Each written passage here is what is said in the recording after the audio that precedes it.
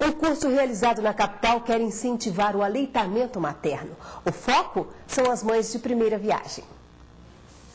Amamentação é a palavra de ordem para este grupo de profissionais da saúde. Eles participam de uma capacitação sobre aleitamento materno, uma ação que faz parte da Rede Amamenta Brasil. A Rede Amamenta Brasil ela, ela tem como objetivo principal é, implementar as ações de aleitamento materno na, na rede básica de saúde.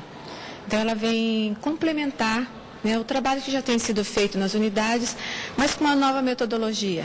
De acordo com o último levantamento feito pelo Ministério da Saúde, a mortalidade infantil em Mato Grosso do Sul, causada pela desnutrição, atinge o um índice de 18,55%. Aqui a gente vai levantar essas questões e a unidade de saúde tem esse compromisso de depois é, realizar essas ações. Após a capacitação, as equipes de saúde de cada região devem oferecer qualidade nos serviços prestados à comunidade. Está sendo rico para nós, enquanto profissional, e isso com certeza vai se estender ao, aos moradores, né? no caso, as gestantes, as nutrizes, né?